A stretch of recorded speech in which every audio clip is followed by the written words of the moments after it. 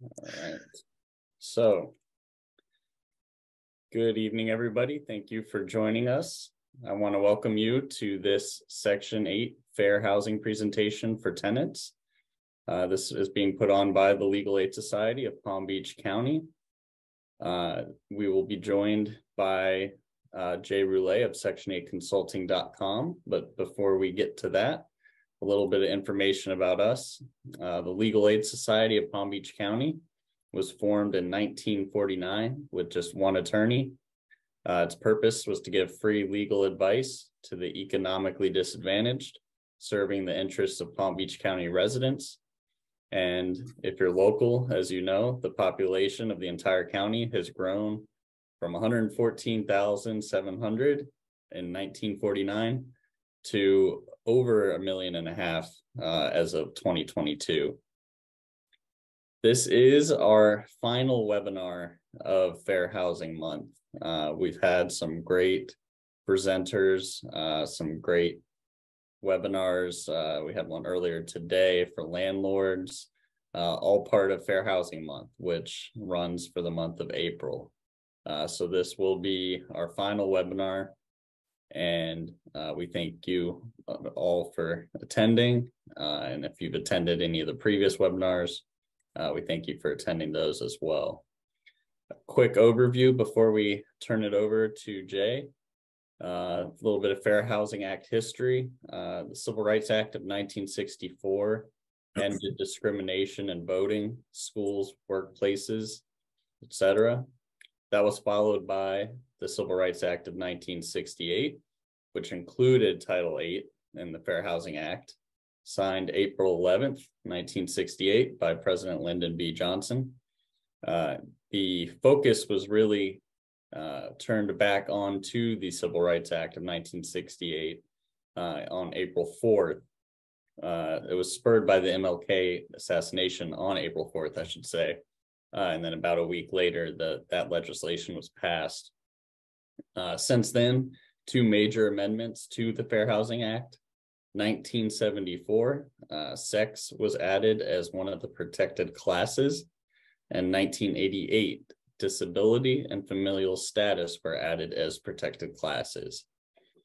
So finally, real quick, I'm going to go over the protected classes, both here locally and around the country. Uh, so federal and state protections apply to any of these classes, disability, national origin, familial status, religion, sex, color, or race. Here in Palm Beach County, we have ordinances that also protect those with sexual orientation, age, marital status, and gender identity. And some jurisdictions go even further than we do here in Palm Beach County. In Miami Dade and Broward County, source of income is considered a protected class. In Broward County, your political affiliation is considered a protected class, meaning that you cannot be discriminated against based off where you get your income, or in Broward County, what party you're registered under. So, about our speaker, I'm very excited to have Jay Reulet back with us again. He was here earlier for landlords. He's here for tenants tonight. Uh, he is a Section 8 expert with 20 years of experience and an excellent success rate of working with tenants and landlords and getting people into low income housing and helping them navigate the housing choice voucher program. So he has a lot of experience and a lot of information that we hope is going to be helpful for you all who are joining us tonight. The J Section 8 consulting experience includes reading thousands of housing authority and continuum of care manuals, covering everything from Section 8 housing applications, operations, policies, procedures, assessments tools, data manuals, and every piece of HUD and housing legislation written on subsidized housing in the last decade. So very, very well read, very experienced, knows his stuff. As a Section 8 consultant, He's had the pleasure of serving thousands of low income housing landlords and Section 8 applicants in every state of the US. He's worked as both a consultant and a district manager at many of the best affordable housing properties on the market. And I think I would argue most importantly, His greatest honor and privilege has been serving the thousands of homeless, disabled, seniors, and veterans who need this housing the most. So with that, I'm going to turn it over to Jay to give his presentation about tenants' rights and Fair Housing Act. Well, Josh, I have to say uh, that was a wonderful presentation. I would definitely have you in all our videos as well. You're an excellent presenter. So today, um, when we discuss kind of the overview of Section 8, I think first and foremost would be best to kind of discuss some of the options out there before we kind of fundamentally understand uh, some of those rights that go into each each type of program. Now, whether or not most of you know this, besides your public housing authority, there are a, a, multitude of types of housing and subsidies and vouchers that you could be presented with. And along with that, I think your rights kind of change. So when you deal with a public housing authority, um, you have the option of uh, accepting a housing choice voucher. You have the option with public housing authorities where they not only issue a voucher, but uh, they also may own the building and then it becomes a subsidy. Beyond that, uh, there can be sub designations to property under Code of Federal Regulation, many of which you may have heard of, section, subsection 811, uh, which is seniors, uh, sorry, uh, that a person 18 to 61 with disabilities. And then you have some other properties that are section 202, which are seniors with disabilities. And then you move from uh, the realm of public housing authorities to housing first programs or continuum of care. And in there, you have generally three options uh, of, of, housing. You have the emergency housing voucher. For those that don't know, emergency housing vouchers in the beginning and for the most part of history have been that were those were the type of vouchers that were uh, issued by the continuum of care. Well, at first they were uh, issued by public housing authorities, and then, but through the pandemic, that that responsibility has now been relegated to housing first programs. Besides emergency housing vouchers, you have rapid rehousing for those that are affected by some situation, including pandemics or other loss of income, and that would allow a situation where you're able to get some of your rent paid over a duration of time, generally 90 days up to two years. And then as you utilize that program, the funding they uh, they pay towards your rent will start to reduce until it eventually evaporates, and that typically happens between a one to two year period. And then, of course, you have permanent supportive housing for those that suffer from mental health uh, issues and may require a more permanent solution. It's not to be confused with project-based housing per se, because that means the housing authority owns it and it's a project. But I would say to you that it would be tenant-based housing under a subsidy. And so you may not find some of the unusual activities that you may find when uh, a housing authority owns a project based. Okay. Beyond that, um, you have the housing first, public housing authority, sub designated properties 202, 811. You also have through the housing authority HUD VASH for veterans, which also has its own version of emergency housing. You may have uh, programs that are funded by VAWA, which is the uh, Domestic Violence Against Women Act. But that act often doesn't go far, further enough in its explanation. But um, that's one. Also, you have HOPWA, H-O-P-W-A, for those that may be suffering from HIV or AIDS and uh, need assistance under that act. Okay. So there's a, a plethora of options when it comes to vouchers and subsidies and so on. So there's quite, quite a bit to learn in that respect. Now, getting on to the part that uh, most people want to understand fundamentally is the duties and uh, rights uh, when it comes to dealing with landlords. A lot of situations come up. Our office gets a lot of calls, and barring those that require an attorney, we handle a lot of them. Um, except for things like discrimination and where there needs to be a legal action. Okay. Sometimes, uh, just like if you're working at a job, say you're working at Walmart and uh, you can't immediately file a grievance with the CEO. You have to follow kind of a due process and make sure you have a matter record as you kind of go. Some may jump straight to an attorney, others may be able to absolve their issues at the federal level. And there are many agencies that can handle your case. It's important that when you're discussing some of the issues that you may have, whether you're dealing with HUD, um, the office office inspector's office, which is a OIG, uh, or you're dealing with HUD's regional offices, or you may be dealing with FHEO with fair housing. a lot of clients tend to grievance many issues. Oh, well, I didn't like the attitude of the lady at the housing. I didn't like the attitude of that. I would tell you that when you have fair housing issues, that it's important to stay on the facts of the case and to narrow it down to one issue. You can't grievance every every issue you've ever have. Otherwise, I would say to you that probably attorneys like Josh will tell you you need to narrow it down to the the factual point and uh, remain. It, try to keep your claim uh, or accusations to uh, a situation where it's less emotional. Okay. But I don't want to get too far into that. That's the attorney's job, not mine. Uh, so I want to go over the obligations. Tenants and landlords have obligations under the Housing Choice Voucher, better known as HCV program.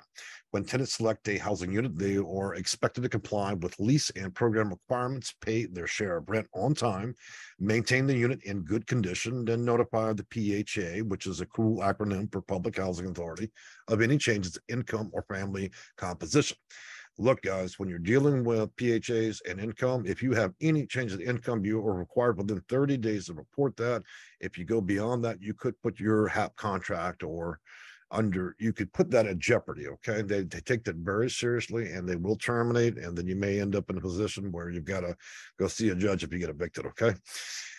Uh, tenant specific obligations when qualifying for a voucher and remain on the housing choice voucher program. And that's what I want to kind of get into a little bit. So First is going to be evidence of U.S. citizenship or eligible immigration status. And I want to tell you that is a sticky one. Uh, in my opinion, we have people that have dual citizenship from around the world. We have people that uh, obviously have just come from war zones like um, well, that kind of flew out in my mind, but we have a current war going on with the nation right now. We get a lot of calls from those individuals. So if you have a refugee status uh, green card, I would say to you that if you're on U.S. territory legally and you're seeking out proper uh, documentation and have been issued a social security card by the U.S. Uh, Social Security Administration that uh, you may have an eligible status. It does cover quite a bit, and um, I don't want to get too deep into that one because it's quite lengthy. so, participating in a housing choice program as tenants or any household member or guest, it's important to understand the composition of the household. You're responsible for everybody, your pets, including the people that visit the property whether they're living there or not. Behavior is simply behavior, and you need to be responsible, or there might be an issue. So you have two different contracts going on essentially. You have a con HAP contract, so does the landlord with the public housing authority, and you must follow their tentative rules. And then there's actually the lease, and there will be in some cases leases that go further with amendments in there. Uh, if you're being warned uh, about your lease and you're getting a notice on your door in the mail or by email, then it means you likely have violated some part of that. Now, it doesn't always mean that uh, a landlord's grievances with you are legal. And in that case, you should seek out an attorney to assist you in that respect. And your local legal aid society can help you uh, there. So, beyond complying with the lease, you must maintain the unit in decent condition. In other words, normal use is acceptable. Uh, pay the tenant share of rent look, guys, uh, under HAP contract, if you're making side deals in order to get a unit and you're slipping money to the landlord beyond what's in that HAP contract, that is highly illegal. and It could get you both terminated and the landlord. I would not recommend setting up those kind of arrangements uh, where you're giving kickbacks. And often that's what people are doing in order to kind of get an edge at getting the apartment over other tenants. Don't do it. Uh, allowing the landlord and the PHA to inspect the unit at reasonable times and after reasonable notice now, this can be uh, come to a varying degree any uh, with all states and counties. I would say in most cases, an appropriate notice would be on the door or by email, official notification, and usually with a you know one to three day notice. Uh, they simply may not have the handyman enter your apartment without fair notice. Nobody should be coming into that apartment without your presence or without fair notice. You may not, in most cases, require uh, them to wait for you to be there. Uh, they've given reasonable notice. They may enter the premise um, with that fair notice. Notifying the landlord of PHA in writing before moving from the unit in accordance with the lease. Abandoning the units uh, is not a good idea, okay? Because you're violating your contract there. And uh, if it's if it doesn't go on that way, then you may uh, have some actions that you could potentially take. Uh, supply the PHA with any information that the uh, PHA determines to be necessary. This includes evidence of citizenship, immigration status information, and use or annual, uh, whether annual or special. Uh, certification family composition. You may not sublease, bring other people in there. However, you do not have to be harassed by the landlord if they or believe that everybody visiting your house is perceived as a situation where you're they're actually living there. I've seen landlords try to twist that around a little bit and uh, make accusations. I think most leases outline uh, a degree of how long a person can stay, anywhere from a few nights up to two weeks before that's considered a situation where they've actually occupied the apartment. So I would say be mindful. If you've gone to the trouble to get a voucher, you've gone through the hunt that's hard to get this uh, housing, then you wouldn't want a lot of people showing up at unusual hours and you know just show the same courtesy to the landlord to let him kind of keep him apprised who's coming.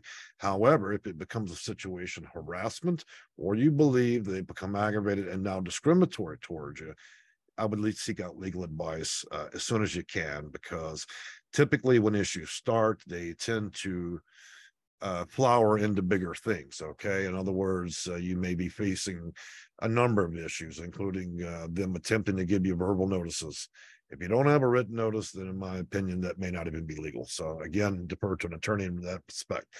To supply the PHA with information that the PHA determines to be necessary, this uh, includes evidence of, okay, so we already been over that, and the composition. So now we're going to go a little bit further in.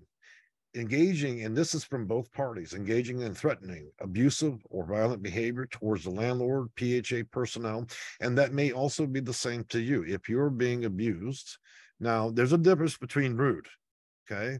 And there's a difference between being rude and then, of course, threats being levied against you while you're in a leasing office. I've seen that kind of behavior play out. It's important, guys, if it becomes adversarial with you and a landlord, that you should keep a witness with you. Okay. You may not, uh, and it depends on the law. In most cases, if you're within inside the door jamb of your home, you should be able to record without permission, but I wouldn't advise probably doing that in a leasing office. So just bring somebody with you. Okay. If you feel that it's going to go the wrong direction. Uh, participating in a, illegal drug uh, activity and other things and violent crimes or just about any type of crime would not be suggested there. I've seen that been flipped where people have had uh, accusations of that being levied against them when in fact it's not true. That could be a potential issue. And uh, I would say to you that that is a possibly harassment or discriminatory action. It would fall under contacting the Legal Aid Society, uh, contacting Fair Housing, better known as FHEO, and depending on the how depraved it is, you may also want to lodge a complaint with the uh, the attorney general's office, but that's pretty pretty upscale. I mean, unless it's a big issue where a lot of tenants or other people in the property have experienced the same thing, then I would say to you that uh, Legal Aid Society and FHA would be the appropriate agencies to reach out to. Committing fraud, bribery, or any other correct, uh, corrupt uh, criminal act in connection with the program. So you want to, you know, remain doing the right thing on the property. Damage to the unit or premises and other damage from ordinary wear and tear. Look, leases do outline. If it's not in the lease, then really you can't, the landlord can't use that against you. Uh, if a relationship is becoming, it starts to de-evolve into adversarial and they're trying to criminalize you, even have potted plants and all these things. If it's not in the lease, then in my opinion, it's probably not legally enforceable. And again, you would, that would be a form of harassment uh, for you. Uh, subleasing and subletting the unit or assigning tra or transferring the unit strictly prohibited, whether you're a voucher holder or you're participating in the HUD home ownership program. So I would suggest to you that if you're going to have guests and other people there, uh, it would just be a very common courtesy uh, to the to the landlord that you apprise them who you're you know, let them know, you know, who might be coming around. That way it doesn't uh, kind of fall into that position where you're getting in trouble. If you want to view regulations that cover tenant obligations, they're found under Title 24, CFR Part 982. Okay.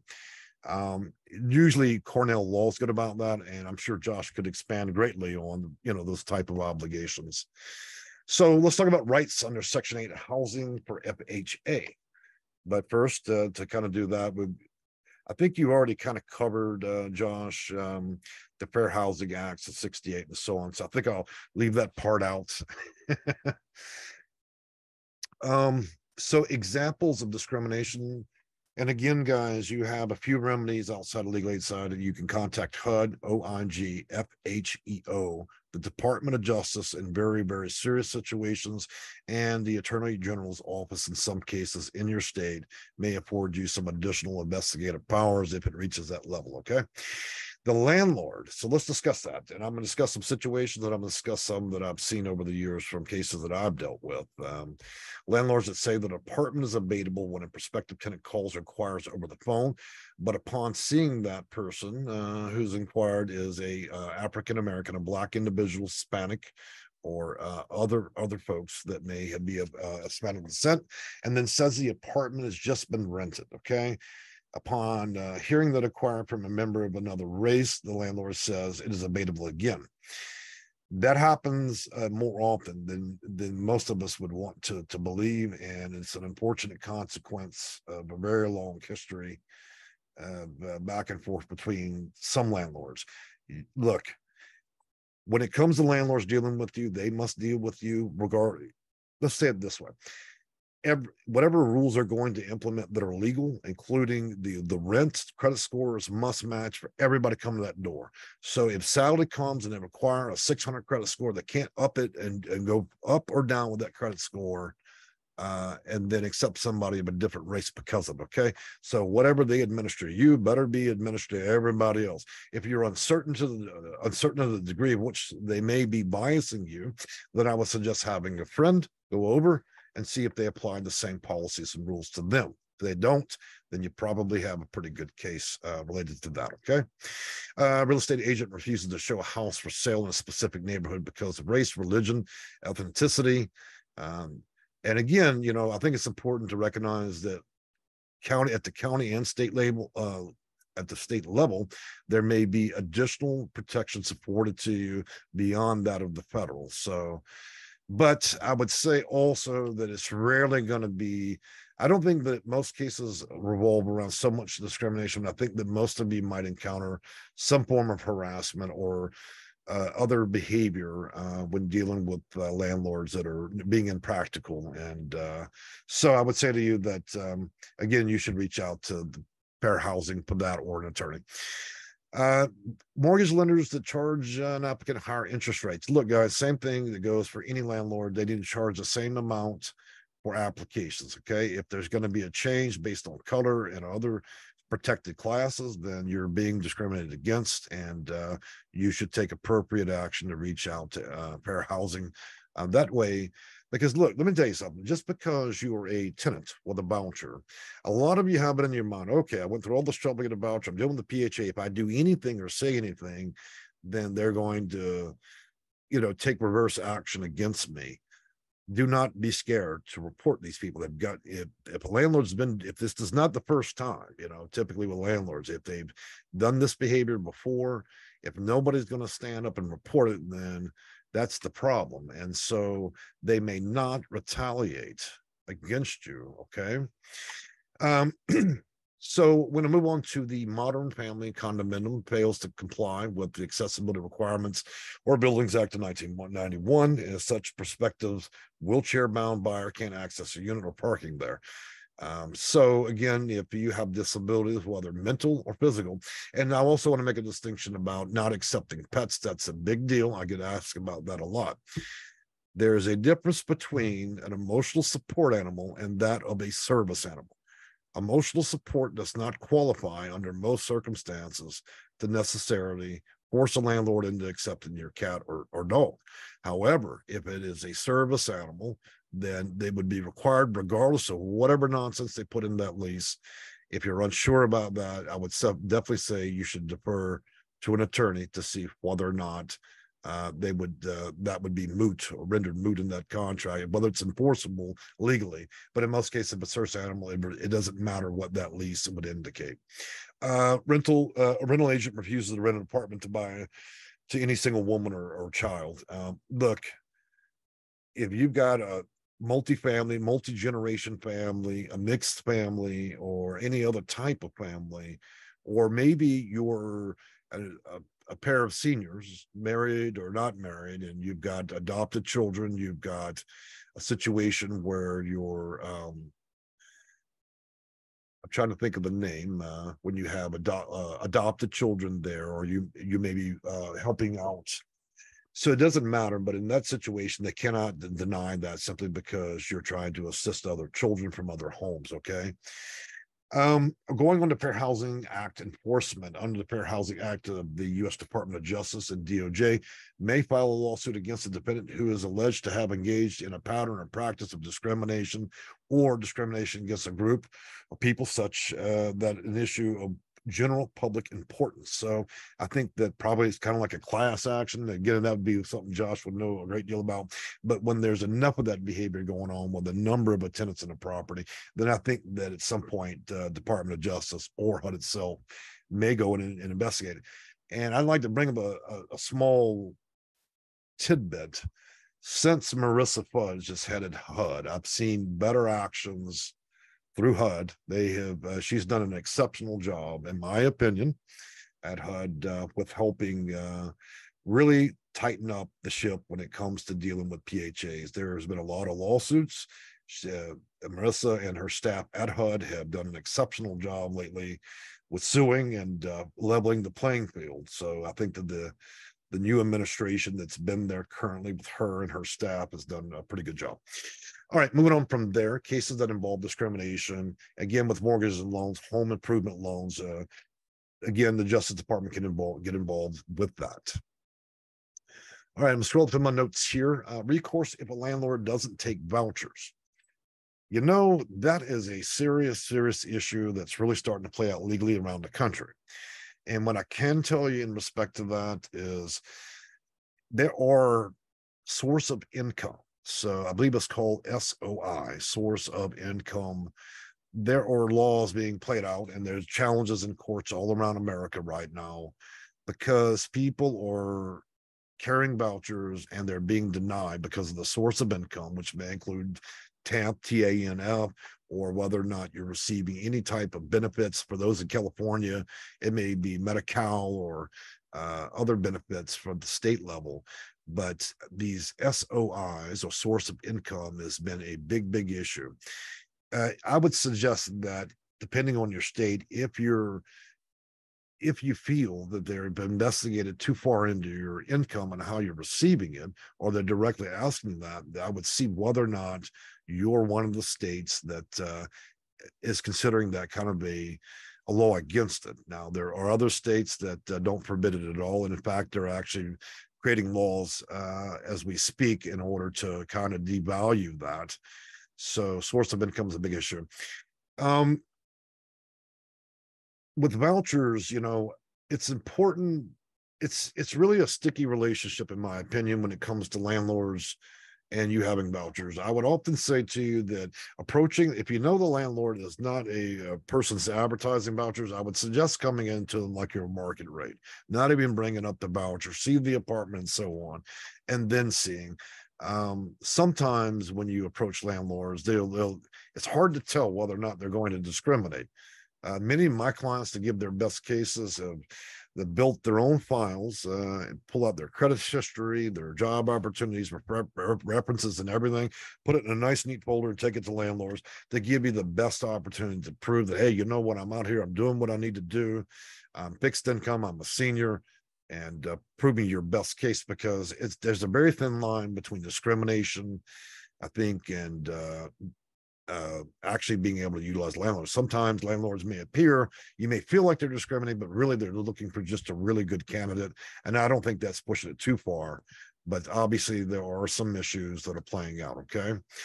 So I would say here that you must find a landlord is willing to rent, and then uh, in most areas countries are not required to accept vouchers. Okay, that is a reality.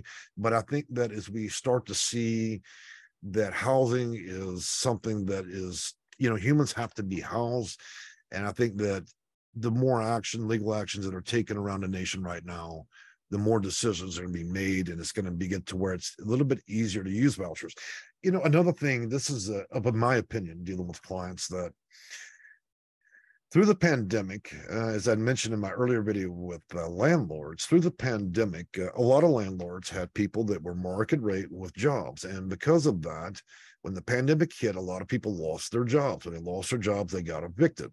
And so as that played out, I saw a very something very unusual kind of play out as the pandemic started coming to a close.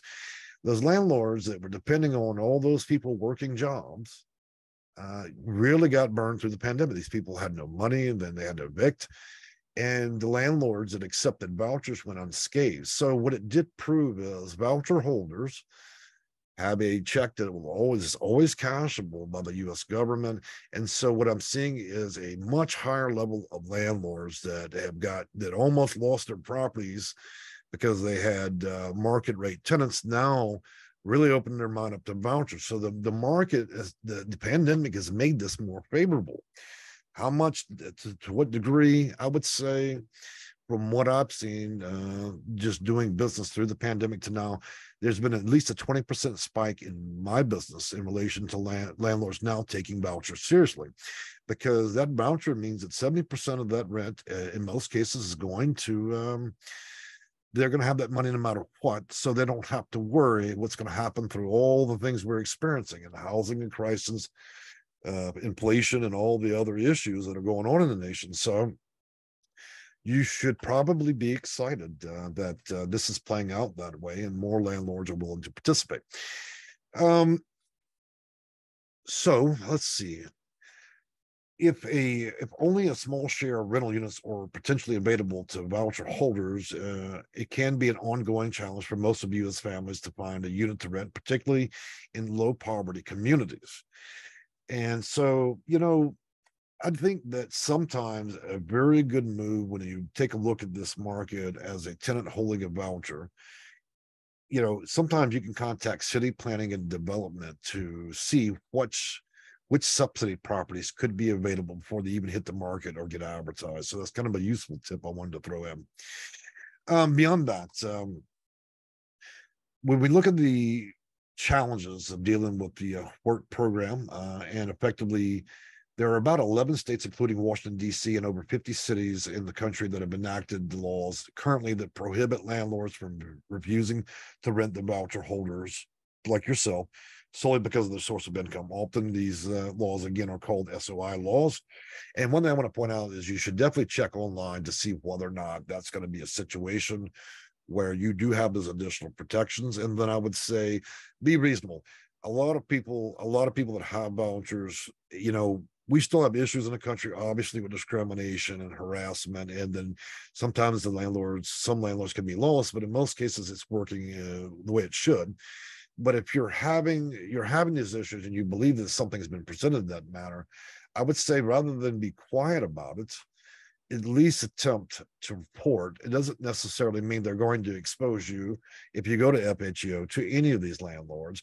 But if we don't do a better job of reporting and we're we're living in fear of reporting these things, then uh, these uh, particular landlords uh, may have uh, can continue to go on. And again, I don't think that the sampling of the market when it comes to landlords is so bad that we have to particularly worry about that. Uh, moving on from that. Um, going back, I want to take a look at one additional note that I had made here. So we were talking a bit about COVID. Um, when it comes to COVID 19, I think that most the eviction uh, most of the evictions that uh, were being blocked around the nation are not being blocked anymore. So, if there's anything remaining on the market, it would definitely be at the county or state level for those of you that have concerns as to whether or not you can continue to remain in your apartment. Uh, and most of the renter assistance or emergency rental uh, assistance that was afforded by the Treasury Department at this point has pretty much dried up. However, I'm seeing second rounds being offered by states. So, a lot of states that may have a, a large enough tax base are starting to do a second round. I know the city of Houston, where I live, uh, offered up uh, a very sizable amount, and uh, I think about sixty thousand people applied. So I would say that the assistance uh, for rental, if you're at real, uh, if you're at real jeopardy, uh, if you don't grab that now, then that by this summer, I would think the federal dollars will dry up, and you can put yourself in a pretty precarious situation. So beyond that, I want to discuss a little bit of landlords and some of the behaviors you should be on watch for. Okay. Many of you that do not go and use lists that the PHAs issue and you go to private landlords, I'm seeing a bunch of behaviors that should not be playing out on a private level. In other words, these landlords have gotten away with a number of things over the years, and they just simply may be unapprised of uh, the rules at the federal level or even the state level. Okay. Again, when we look at accepting the property, you should not move into the unit, apartment, home, trailer, or mobile home with them telling you they're going to fix certain things later. Uh, if they if they have legitimately passed a housing quality inspection, then that would be appropriate to move in. You may not uh, have a landlord uh, convince you to move in before a housing quality inspection happens because you're putting yourself at jeopardy. It means the landlords are making all these guarantees, and uh, if those guarantees aren't carried out, you can be far into your lease, and a bunch of things don't work. It, you need to let the PHA carry out its housing quality inspection so you're covered under your HAP contract.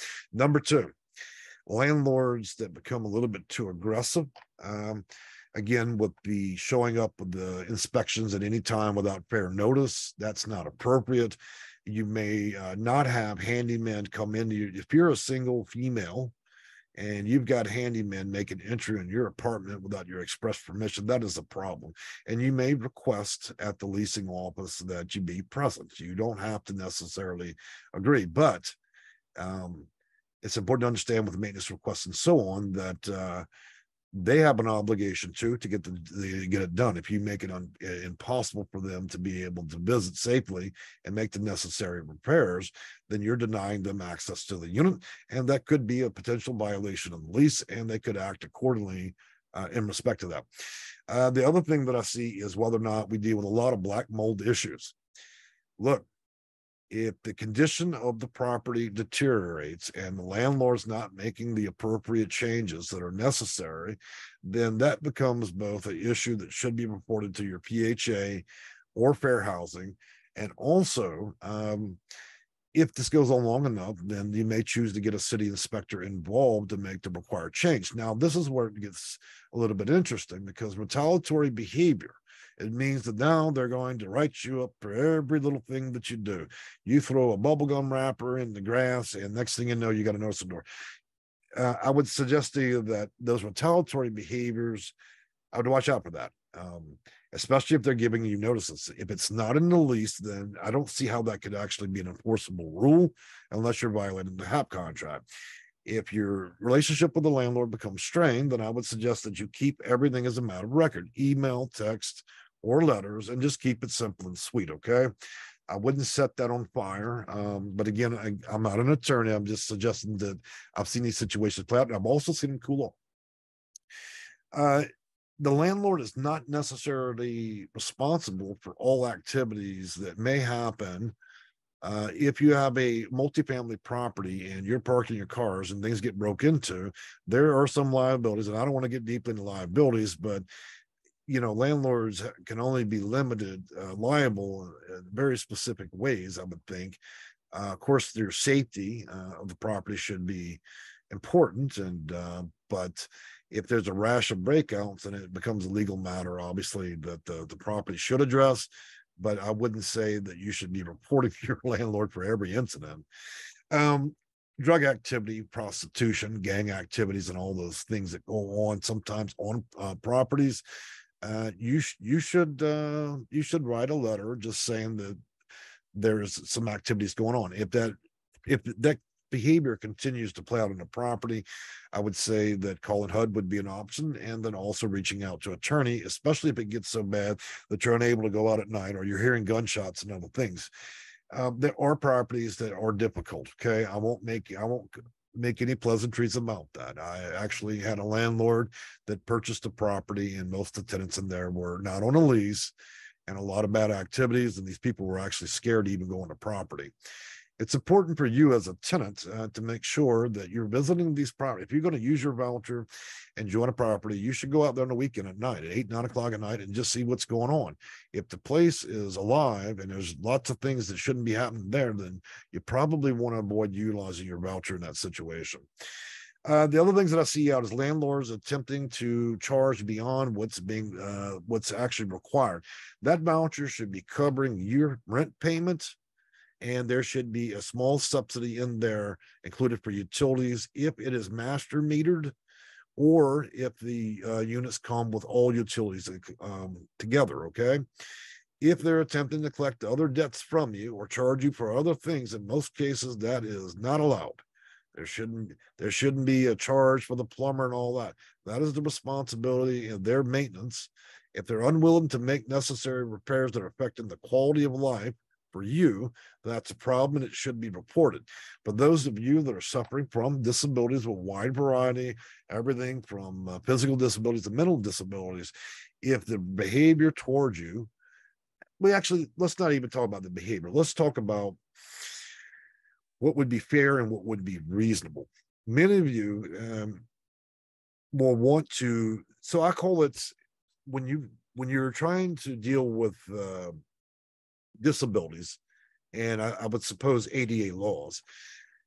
You can ask for reasonable accommodations or modifications. So when I say reasonable, it doesn't mean that you're going to get a fifty thousand dollar handicap ra- uh, ramp added. Okay, I think that there should be a situation where if it's reasonable and it's not a large ramp and, and that's a combination they're prepared to make, that that's fine. If you're asking the if you're moving in with the consensus that you're disabled and you're moving in a not in a unit that's not uh, designed uh, for the disabled, let me tell you a good example. In one case, I had a tenant move in and it was actually a unit that was designed for a person with disabilities. So we had light switches very low, and we also had uh, the plugins very low as well. The problem was the person wasn't disabled, and it should probably not have been rented to them because they wanted to request a accommodation or a modification. Unfortunately, that is for those disabled. So that tenant got stuck in a kind of a gray area with this.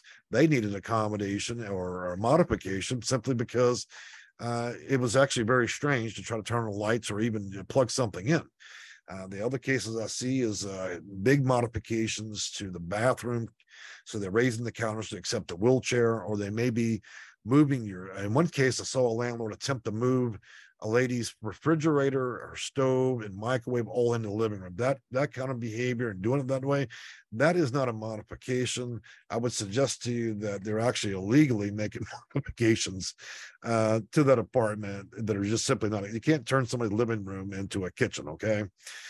Um, but I won't go too too far into that because again, I think that that needs to kind of every case is a little bit different the main thing that I think that tenants should understand is if you're going through what you perceive uh, as a, a, issue, an action, harassment, or what you feel is discrimination, is you should reach out and see whether or not there is a federal law or a state law or somebody can assist you with it, and not be scared to do so, um, because the housing authority is not always going to be in the mood to just terminate you because you're raising too many complaints. If it's a legitimate complaint, it's fine. However, if you're suffering from issues that may uh, be that may be conducive with uh, paranoia, schizophrenia, and other issues, and you have a history of making exaggerated claims, then that could be kind of sticky situation as well. Well, I think we've reached uh, a pretty good part here. Did y'all have any questions? Um, yeah, we actually we have quite a few. Um, sure. Let's start here. So, what can you do when a landlord doesn't give the tenant notice of their intent not to renew the lease agreement, but gives Section 8 notice? Section 8 will usually stop paying when they receive notice that the landlord is not renewing the lease agreement. So, what does the tenant do to keep their voucher, and what do they do about their housing? Well, uh, a non-renewal notice is uh, perfectly legal, and it doesn't have to have any reason that I'm aware of under law. If the, the landlord decides that, uh, I think that's the the easy way out for most landlords. Um, a non-renewal that just means they don't want the apartment on market. Maybe they want to use a different way. So you can't really do a lot about non-renewal. Now, if they're doing a non a non-renewal as a retaliatory behavior from something that uh, has happened over the course of the last couple of months, then I would say to you that you likely have some type of case, but it would be kind of difficult to prove. Um, as far as them knowing a non-renewal, it doesn't necessarily mean that the PHA or housing authority is going to retract the voucher and terminate you. Um, so that's not the problem. I think that if they want to do that, first of all, HAP contract usually will prescribe the the landlord would need to contact the PHA and tell you, and it's the PHA or Public Housing Authority's responsibility to notify you. That way, you would be given an additional period to do your housing search. But as far as I know, Josh, uh, in poor tenants, uh, a non-renewal simply that there's nothing gregarious about it. It just simply means that they don't want to continue relationship for any number of reasons. They don't really have to explain that unless um, it's a situation where they're trying to terminate the lease uh, where it's not coming to an end. So, Okay. Uh, next one we have, how does smoking marijuana affect your section eight voucher in states where marijuana is legal? let me give you some uh, good old fashioned uh, advice. Okay. This is not going to be on the books kind of advice, but look, guys, we we live in a country where people have many opinions. Okay, if you don't want to attract harassment and discrimination, I would suggest to you simply this: if it's legal in the state, you can do it, but it doesn't mean that there aren't going to be bitter feelings. It would be better if you're using medical marijuana or CPBD and it's all legal for you to do so, then do it. Okay. But um, I don't know that I would necessarily want to advertise. So I'm not saying that uh, you that you should receive a dose of discrimination or harassment over it uh, I would say that it's a private matter. I mean, when you, if you have a back surgery and you're taking a, a narcotic pain pill, do you go out by the pool and start popping those pills and tell everybody no? And I would suggest that the use of marijuana should be, you know, whether it's uh, liquid or smoke form that that should be something a matter that's taken care of in your home. I don't know that you probably would want to advertise that uh, i would say just keep the matter privately. Now if it's brought up in the context of we're aware that you're smoking marijuana in there well does the lease indicate that you're permitted to smoke in the apartment? If it has a no smoking policy then that kind of goes in a gray area because you have to use your medication but you have a no smoking policy in there versus you losing your deposit. I would say that it's a minor uh, a minor offense on the part of the landlord, but uh, I can also see. I don't know, Josh. You know, actually, that's rather a neat question because I could see how many gray areas could be there. What if they have a no smoking policy?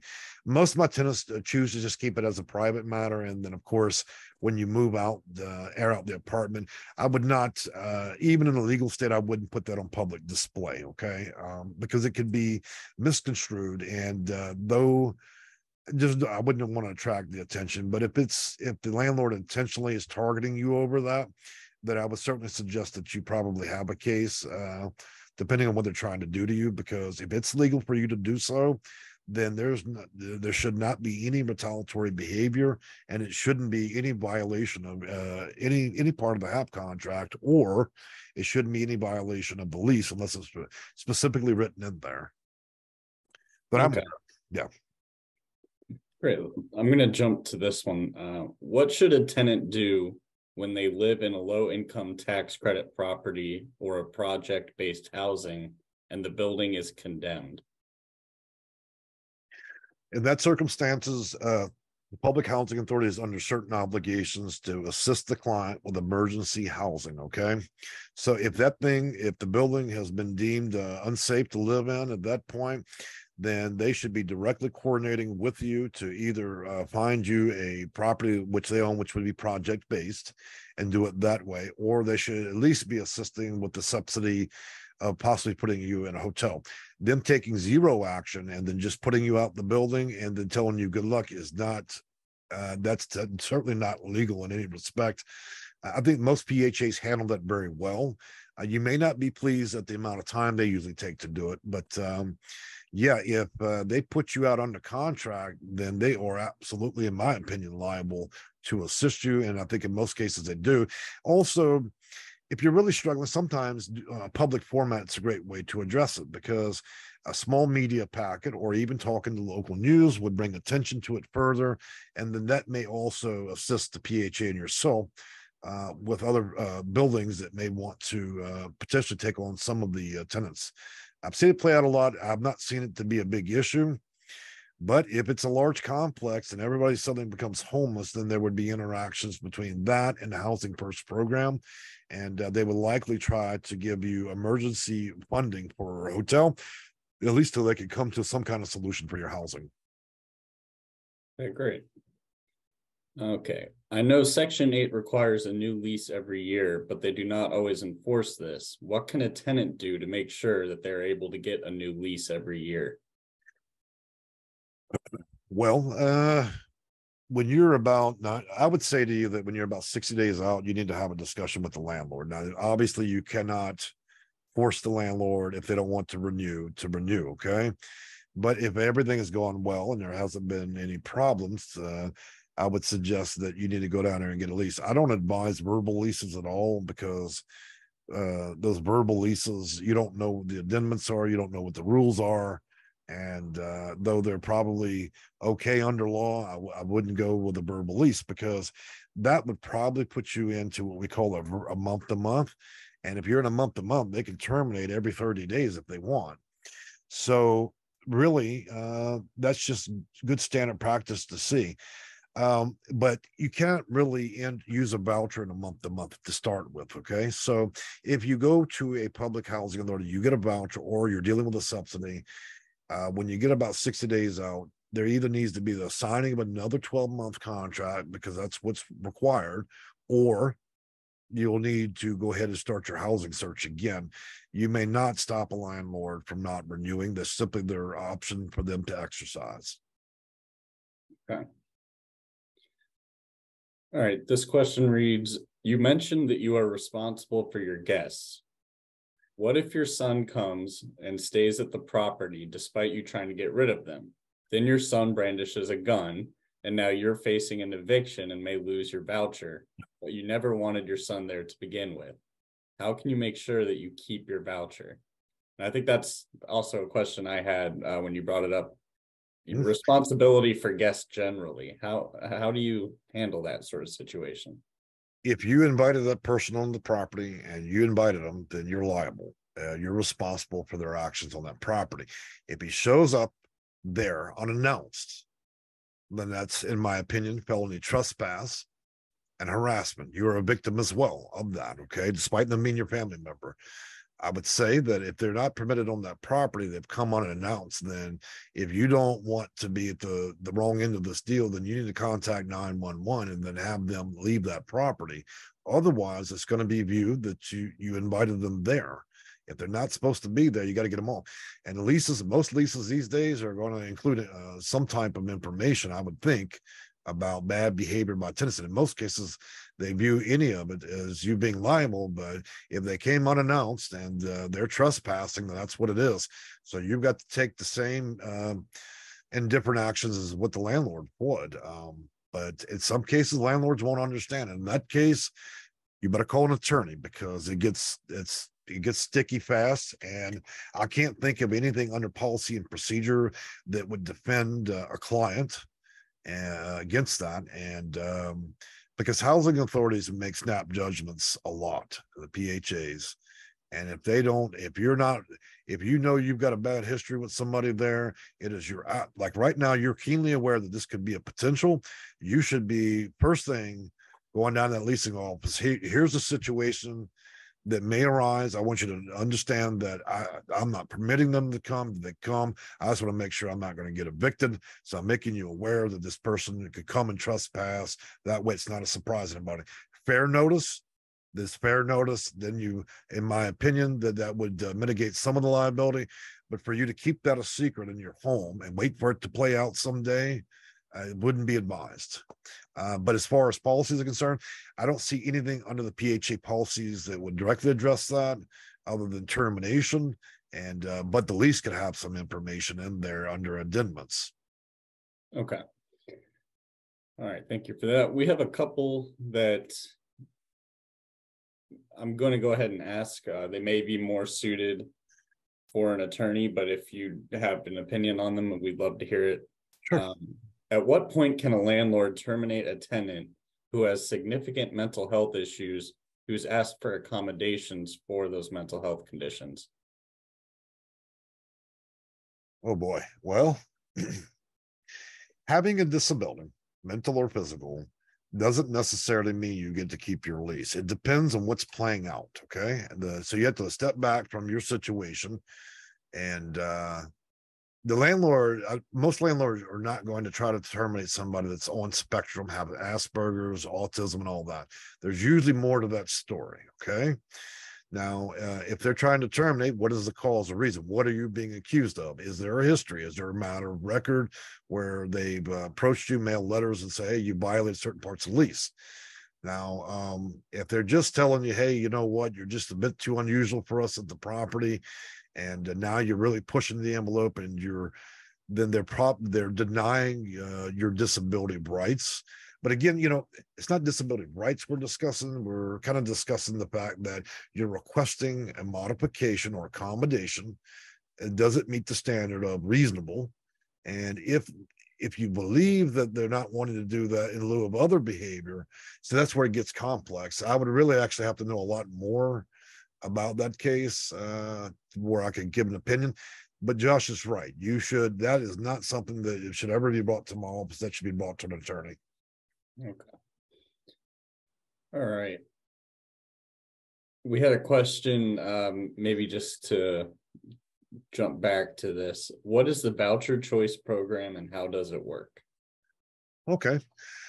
So the housing choice voucher, uh, as it kind of suggests, is giving you the choice of taking a voucher and looking for a home anywhere in the community, whether it's a home, a duplex, a trailer, so on. It gives you a choice. In the early days of Section 8 and housing and subsidies, people were often relegated to properties owned by housing authorities. And over time, they built these wonderful structures, and um, you have a lot of low income individuals at high concentrations, and then some behaviors would play out. And so it becomes difficult. So the housing choice voucher gives you the option to go live normally in the community. And you could have a house with a little yard, or you could get a duplex with a neighbor or two.